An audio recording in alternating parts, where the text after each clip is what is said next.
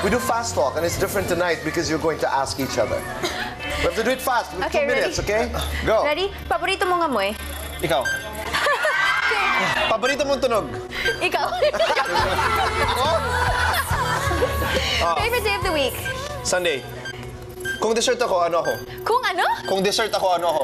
Ice cream, kasi favorite ko yan eh. Okay. Ano mas bagay sa akin? Long hair or short hair? Long hair. Anong mas bagay sa akin? Maputi o tan? Maputi. Oh. Okay. Unang beses na nakita mo ako, Dressing room. Huling beses na nagtampo ka sa akin. huling beses na nagtampo, like, kahapon. Kasi hindi ka nag-reply.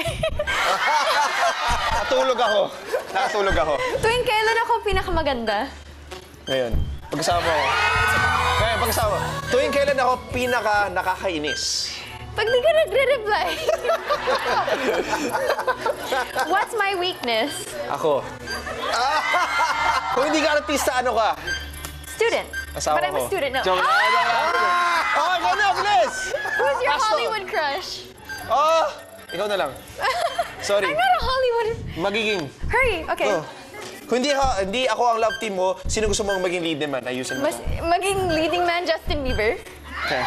Anong gusto mong sabihin sa mga taong ayaw sa'yo para sa akin? Bahala kayo sa buhay niyo. Anong nara...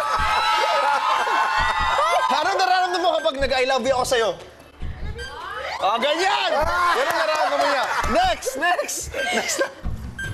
Ah, how long are you willing to wait for me? Forevermore.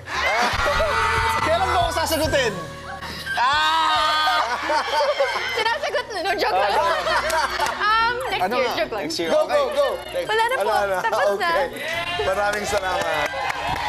So, maraming points ako. Marami akong points. Nakaka